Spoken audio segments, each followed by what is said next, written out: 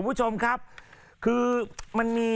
งานศพหนึ่งที่ศรีสะเกดครับ คนมาร่วมงานเนี่ยนะฮะตอนแรกนึกว่ามาผิดงาน เฮ้ยทำไมมันมีรถแห่ทำไมมีคนมาเต้นอะไรกันสนุกสนานเฮ้ยนี่งานศพเหรอเนี่ย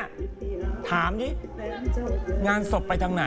เขาบอกก็อยู่ตรงนี้นี่แหละงานศพ โอ้ยทุกคนตกใจครับ นี่คืองานศพอะทำไมมันดูสนุกสนานเหลือเกินนะคุณผู้ชมอะไปดูบรรยากาศบางช่วงบางตอนนิดนึงครับทางเหตุ บอกเคยเบาผิดที่หาเขาแต่เจ้าเกินโอ้โห นี่คุณผู้ชม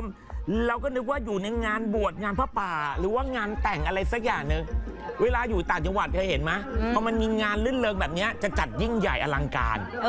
อเนี่ยน่ารักดีนะคะ โอ้โห นี่มาเป็นขบวนกันแบบนี้เลยค่ะ เป็นรถแห่จิมเลยมี่นะจิมมี่จิมมี่ซาวมินิเออนะคุณผู้ชมครับใครจะไปคิดว่านี่คืองานศพ มีการแห่ด้วยนะครับ เป็นงานศพของธนาวุฒิโจมสติครับอายุ 42 ครับ ตายด้วยโรคตับอักเสบครับนี่ก็มีการขึ้นรถแห่นะครับจากบ้านพักไปทำพิธีกันที่วัดศิลารามนะครับอำเภอกันทรลักษณ์จังหวัดศรีสะเกดฮะงานเนี้ยมันแปลกไม่เหมือนใคร ระหว่างทางที่แบบว่าเอารถกระบะเนี่ยมาขนหีบศพไปที่วัดเนี่ยฮะ แต่ละคนก็มาเต้นมันโอ้โหดูโจมโจมโจมกันแบบโอ้โหดูเดี๋ยวดูดูดูดูอยู่บ้านแล้วมันไม่มีแรงโจ๊ะเลยแต่พอทีเดีอยวอกนะมาก็มาสนุกสนานกันแบบนี้ได้เนาะแล้วสังเกตดูดีๆแทบจะไม่มีใครใส่เสื้อสีดำขาวเลยอะอ่าตอนนี้ถือได้ว่าเป็นอีกมิติหนึ่งของงานศพที่จะจัดกันแบบนี้แล้วเราเห็นเยอะนะ ใช่ฮะเนี่ยฮะหลายงานเหมือนกันนะครับก็ไปพูดคุยกับลูกพี่ลูกน้องของคนตายครับ ชื่อว่าลุงนัทวุฒิศรีจันทร์นะฮะเขาบอกว่าที่เปิด เครื่องเสียงเปิดเพลงให้คนเต้นร้องรำทำเพลงเนี่ยเพราะว่าผู้ตายเดิมทีตอนที่มีชีวิตอยู่เนี่ยเขาเป็นคนสนุกสนานค่ะชอบร้องรำทำเพลงชอบเต้น งานไหนมีหมอลำเนี่ยผู้ตายไปเกือบจะทุกงานนะครับ แล้วตอนที่ก่อนจะตายเนี่ยสั่งเสียไว้ว่า งานศพทุกคนห้ามเศร้านะห้ามเศร้านะอืมเวลามางานศพผมเนี่ย